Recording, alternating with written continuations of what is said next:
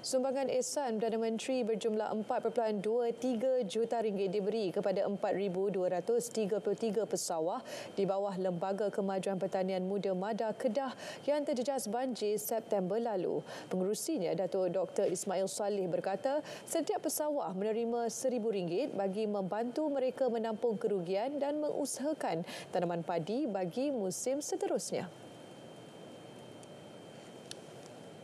Terlibat dan keseluruhan yang uh, terlibat yang telah di um, angkat dan telah diluluskan oleh jawatankuasa adalah seramai 4233. Ha, jadi daripada situ uh, pihak ICU telah bersetuju untuk memberi sumbangan sebanyak 1000 setiap orang. Ha, 1000 setiap orang jadi jumlahnya adalah 4 juta lebih lah tadi. Ha, jadi keseluruhan yang terlibat adalah hampir semua PPK kita daripada 27, 21 PPK yang terlibat.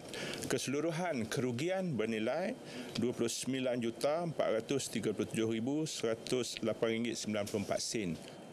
Tambahnya, selain daripada bantuan Ehsan itu, pihak MADA juga akan menyalurkan bantuan menerusi tabung bencana tanaman padi TBTP kepada pesawah yang terjejas. Permohonan penyaluran bantuan TBTP telah pun dikemukakan kepada pihak kementerian dan berada di peringkat akhir untuk kelulusan. Sumbangan Ehsan Perdana Menteri ini sedikit sebanyak membantu meringankan beban mereka yang terkesan untuk memulakan semula tanaman padi bagi musim akan datang.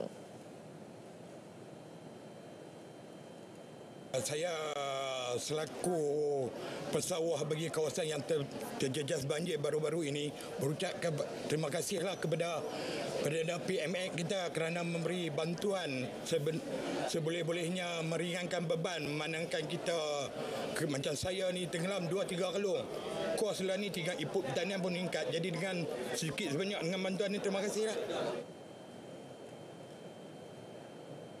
Jadi saya haraplah uh, kerajaan ini berterusan bagi bantuan kepada rakyat Pak Tani Pak Tani. Belalah Pak Tani sebab pemakanan negara kita boleh boleh boleh mengatasi.